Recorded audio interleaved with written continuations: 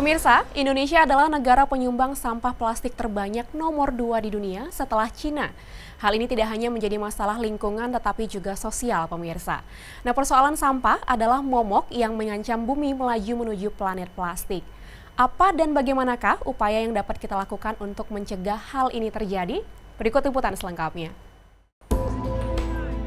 Plastik adalah materi ajaib keawetan dan kemampuannya beradaptasi membuatnya digunakan dalam berbagai jenis kebutuhan manusia.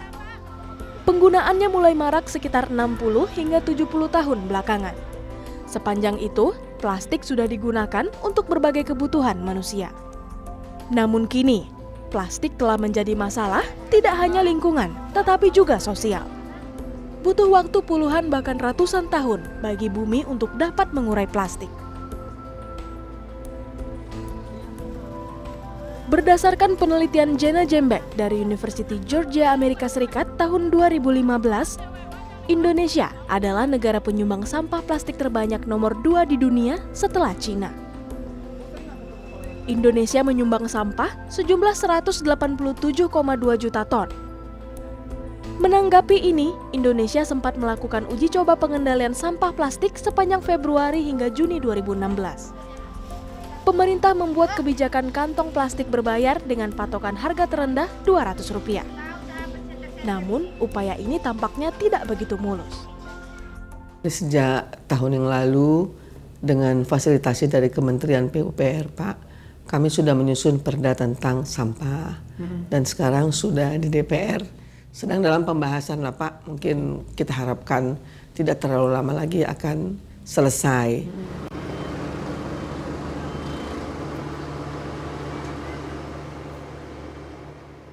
Plastik terus diproduksi, masyarakat terus mengonsumsi, dan sedikit yang mendaur ulang.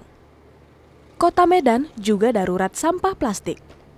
Berdasarkan data Dinas Kebersihan tahun 2016, rata-rata produksi sampah dari 21 kecamatan yang ada mencapai 1.595 ton per hari. Dari jumlah tersebut, hampir 80 persennya adalah sampah plastik berupa botol minuman dan kantong plastik.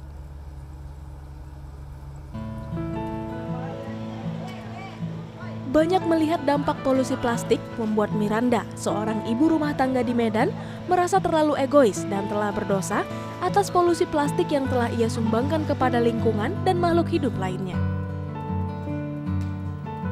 Ia lalu memulai gerakan minim sampah, mulai dari kebiasaan rumah tangganya untuk mengurangi penggunaan sampah plastik.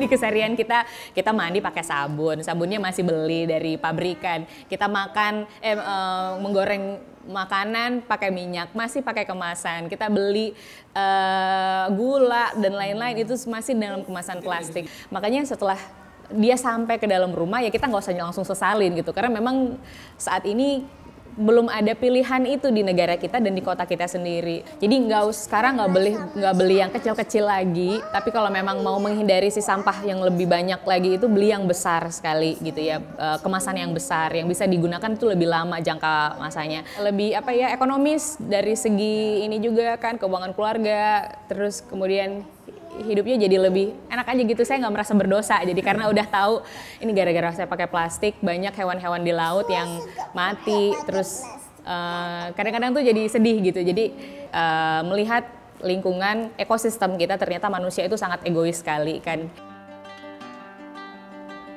Miranda juga menciptakan wadah yang mampu menggantikan peran plastik selama ini. Ia membuat wadah kantongan belanja dari bahan daur ulang berupa percakain yang sudah tidak terpakai.